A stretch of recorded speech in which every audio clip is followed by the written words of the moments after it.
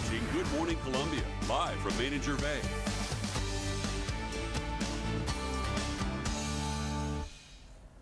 Ah, yes, the often solemn moment as we quietly and often pensively stare nearly into the soul of an artist in an attempt to understand his motivation, heart, all through his creation canvas, clay, and sometimes even trash.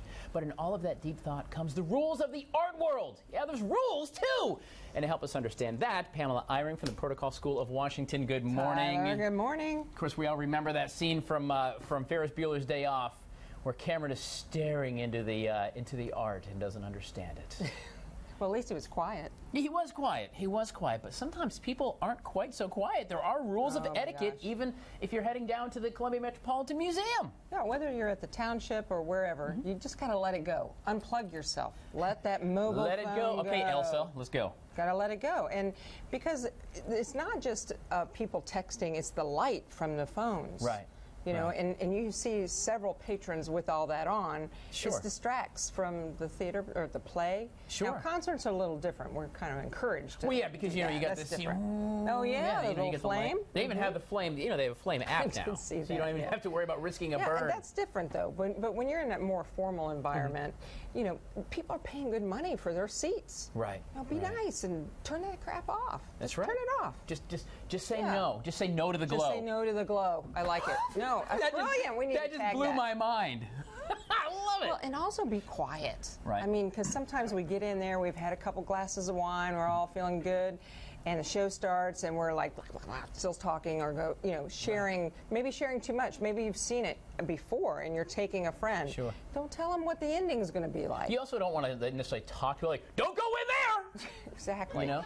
You- Yeah, keep the tone low. I mean, you can whisper, but then let you know stop. Stop. Just stop Right. talking when the show's going. Save it for intermission. Sure, and, and those rules apply whether you're at like an art gallery or you're at a show, some sort of Yes. event, a play, a concert. Yeah. You know, a Morihiko Nakahara will walk down and just whap you over the head with his little his little long pencil. Yeah, you don't want one He of the should anyway. or you don't want one of the actors coming up to you and stealing your phone because you're texting in the middle of their big show. Pardon me, my name is Hamilton. Give me that phone.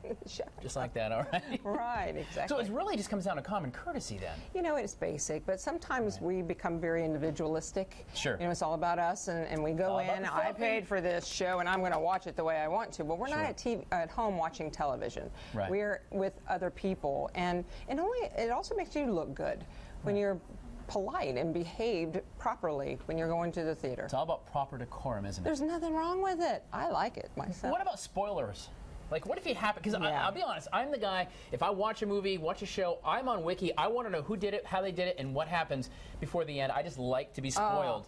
So I'll go in a movie knowing exactly what's going to happen, mm-hmm. but I probably don't need to share that with everyone around me, right? Right. If you think that's going to happen and you haven't seen the show yet, go, hey, hey, don't tell me the ending. I don't want to know. Right. I'm going to go next week, so just please keep it down. I want to be surprised. yeah, exactly. So, or you can say, "Do you want to know the ending?" and people go, "No." Or you might go, Sure. "Yeah." I was, and me." this is a true story. I'll read the last couple of pages of a book. I really you will. really go there? I, I do.